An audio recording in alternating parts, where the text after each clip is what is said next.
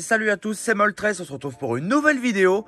Aujourd'hui, comme vous avez pu le voir au titre et à la miniature, on se retrouve pour un retour de vide-grenier.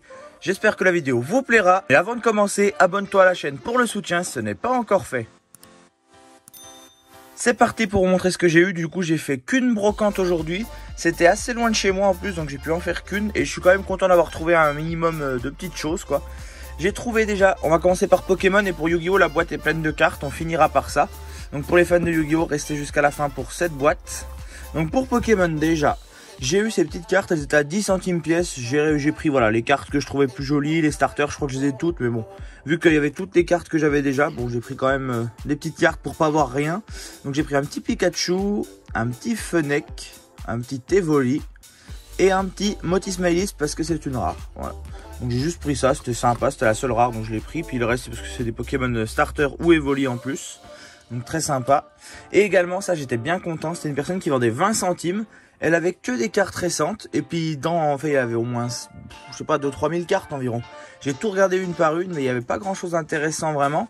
Et j'ai juste trouvé ça au milieu du tas donc j'y ai pris, c'est sympa. Donc j'ai pris un petit Nidoran, un petit Magnéti, de Roquette, un Voltorb de Roquette, un petit Machoc de Destiny et on termine avec un petit Liglama de Révélation, je crois, de Néo. Voilà, donc c'était sympa, ça m'a fait 1 euro, je crois, oui, 1 euro, c'est ça. Voilà, donc j'étais très très content d'y avoir pris. Et maintenant, on va pouvoir passer au Yu-Gi-Oh! avec cette petite boîte que j'ai eu seulement pour 2 euros.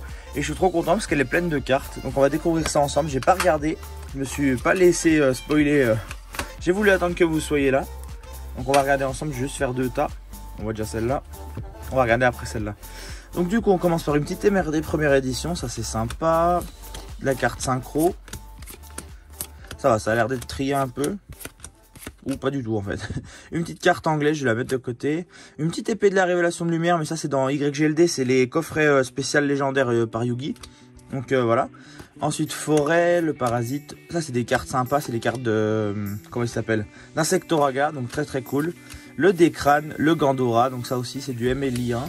Ok, turbo synchronique, le nitro, le turbo, le robot, la roquette, le nitro. Sympa, en plus il y a quelques doubles, c'est cool. Ça pour faire les decks, ça va être sympa. Ensuite, soldat du lustre noir, ça c'est du DPYG. Je sais plus ce que c'est comme truc. Ensuite, euh, AST, du MDM, du LDC, donc ça aussi je fais la collection. Cœur de l'opprimé, c'est la carte à... comment il s'appelle? À Joey Wheeler, avec euh, la balance du souvenir, les deux ensemble. Très sympa. Hop, on retombe sur des cartes de Yugi, Chevalier enragé, c'est là je sais pas. Du, MRD, sympa. Du MDM, encore du MRD première édition. Du YGLD, on en retrouve un peu. Sympa, c'est un peu tout mélangé, c'est cool. Il y a du de l'ancien, la réédition de l'ancienne. Enfin, c'est un peu cool, c'est sympa, moi j'aime bien. J'espère qu'il y aura une petite pépite. Ensuite du SDP première édition, j'ai loupé. Voilà, main fantôme. Et on va terminer avec ce petit lot aussi. Bah franchement pour 2 euros je suis très content, il y a quelques cartes qui brillent en plus. Donc c'est très très sympa. Donc avec le petit Kaiser, le magicien du temps, la destruction de cartes, notre destruction, celle-ci, le guerrier castor à Yugi. Voilà, encore un peu plus YGLD là-dedans. Les trois chevaliers, donc du roi, du valet et de la reine. Donc très très sympa. Ensuite Buster Blader, le Kaiba Man, multiplicateur. Des cartes intéressantes en magique et piège. Très très cool. Rétrécissement aussi, ça c'est tout des cartes sympas. Un petit dragon du tonnerre, en plus en bon état, c'est sympa un dragon blanc aux yeux bleus, très très cool, mais en LED3. Donc euh, ouais, ça c'était dans les packs légendaires avec euh, Kaiba. Grand papillon, le chevalier du valet. Encore une carte pour Insectoraga. Donc des cartes pour Extractor, ça je crois. Ensuite le petit Gaïa de Yugi et du grand-père. Tortue catapulte, dragon des ténèbres. Ça c'est des cartes de Yugi.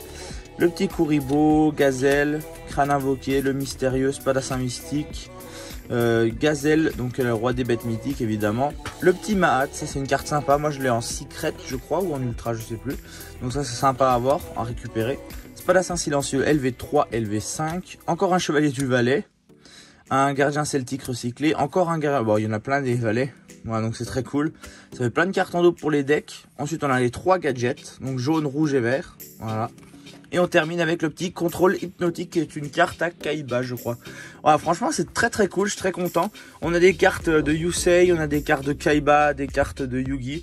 En plus, on a trouvé du Pokémon également, donc c'est toujours cool. Voilà, donc en une brocante, je suis quand même content d'avoir trouvé un, un, petit peu de quantité. Puis Yu-Gi-Oh, ça faisait un petit moment qu'on n'en avait pas trouvé en brocante.